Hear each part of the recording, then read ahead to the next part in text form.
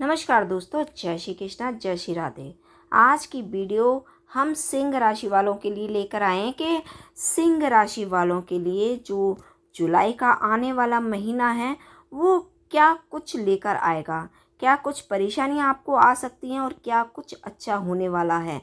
अब ये महीने सूर्य, मंगल तो बुध जैसे ग्रह तो परिवर्तन करेंगे ही, साथ ही उनतीस जून को एक बड़ा परिवर्तन शनि का हुआ है, जो कि वक्री हुए हैं और इसका असर आप पर ज़रूर पड़ेगा। तो अगर आपकी राशि सिंह है तो आप अपने जीवन से जुड़े हुए हर क्षेत्र के बारे में इस वीडियो में जान सकते हैं। तो ये जानने के लिए वीडियो को अंत तक ज़रूर देखें, क्योंकि अंत में हम आपको शुभ रंग और शुभ अंक भी बताएँगे और अगर कहीं किसी क्षेत्र में आपको समस्याएँ आती हैं तो उसका उपाय भी हम आपको बताते चलेंगे। अब ज़्यादा देर ना करते हुए आपके सिंह राशि की बात करें तो उससे पहले अगर आप वीडियो पर नए हैं तो हमारे चैनल को सब्सक्राइब ज़रूर करें, कमेंट करें और साथ ही दोस्तों के साथ शेयर भी करें। अब सिंह राशि के पारिवारिक जीवन की बात कर लें तो जुलाई के महीने में परिवार का मन आपके जो परिवार है, उसका मन आध्यात्मिकता में लगेगा। दूसरों की भलाई की ओर झुकाव आपका ज़्यादा रहेगा। जुलाई में सिंह राशि वाले भावुक रहेंगे। घर वालों के प्रति मन में श्रद्धा बढ़ेगी। इस समय भाई बहन का ध्यान रखना होगा। जुलाई में परिवार में कोई नई खुशी भी आ सकती है। जुलाई में अगर आपके व्यापार, बिज़नेस या फिर जॉब की बात कर लें तो जो सिंह राशि वाले हैं, उनके लिए बड़ा महत्वपूर्ण समय होने वाला है। इस महीने व्यापार के लिए सिंह राशि वाले नए समझौते करने में सफल रहेंगे। अच्छे से विचार विमर्श विमर्श करके ही आप निर्णय लें, जिससे कि ये भविष्य के लिए लाभदायक हो। किसी के प्रति शत्रुता का भाव ना रखें और शत्रु से भी अच्छा व्यवहार करें। नौकरी कर रहे लोगों को काम में बाधाएँ आ सकती हैं। इससे स्वभाव थोड़ा चिड़चिड़ा रहेगा।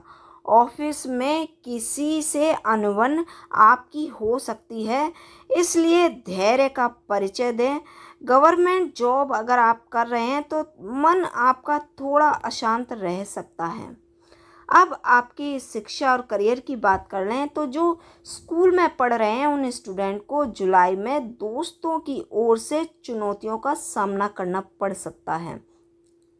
हालाँकि इसका अपने क्षेत्र के प्रति आपका जो आप स्टडी कर रहे हैं हाई स्टडी कर रहे हैं, उन स्टूडेंट का अपने क्षेत्र के प्रति जो झुकाव है थोड़ा कम रहेगा। इस दौरान वे अपने मनपसंद के काम जैसे डांसिंग, पेंटिंग या फिर राइटिंग में ज़्यादा टाइम बिताएँगे। कंपटीटर या फिर गवर्नमेंट जॉब की जो परीक्षाएँ की तैयारियाँ कर रहे हैं, उन छात्रों के लिए नए विकल्प खुलेंगे और उसकी खोज में भी वो रहेंगे।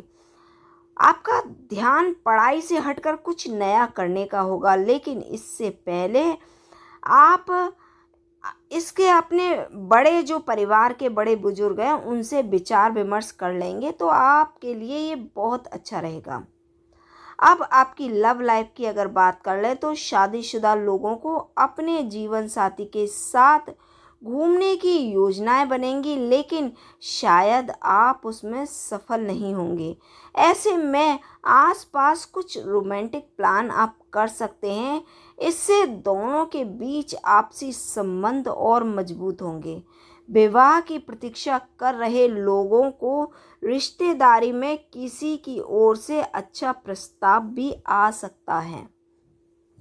अब आपकी हेल्थ लाइफ की बात कर लें तो जो जुलाई का महीना है, सिंह राशि वालों के लिए आप खुद को तरोताज़ा महसूस करेंगे, लेकिन सर्दी, जुकाम की समस्या आपको परेशान कर सकती है।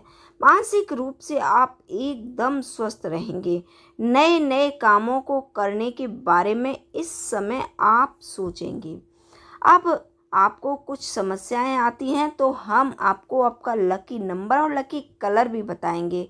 तो जुलाई के महीने में आपका शुभ अंक नौ रहेगा और शुभ रंग स्लेटी रहेगा। तो इस महीने अगर आप इन दोनों का इस्तेमाल ज़्यादा से ज़्यादा करेंगे तो परेशानियों से आपको राहत ज़रूर मिलेंगी।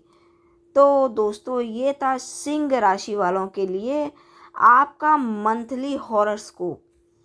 वीडियो कैसी लगी ये कमेंट करके ज़रूर बताएँ और अब आपसे विदा लेते हैं। मिलेंगे अगली नई वीडियो में। तब तक जय श्री कृष्णा, जय श्री राधे। हर हर महादेव।